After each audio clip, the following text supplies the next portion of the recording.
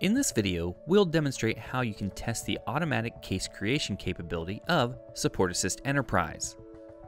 By default, Support Assist Enterprise automatically verifies the case creation capability every day between 11 p.m. and 4 a.m.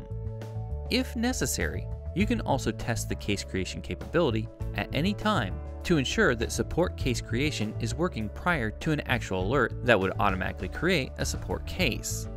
Dell recommends that you test the case creation capability after you install and register Support Assist Enterprise on the local system. To begin, point to the name of the currently logged in user, and then click Support Assist Enterprise Test.